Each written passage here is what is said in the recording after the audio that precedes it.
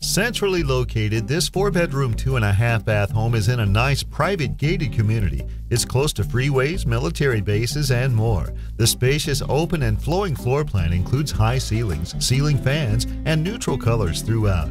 In the privacy fenced yard, you'll find a covered patio and mature trees. The controlled access community offers a ton of great amenities. See it all with ROSA.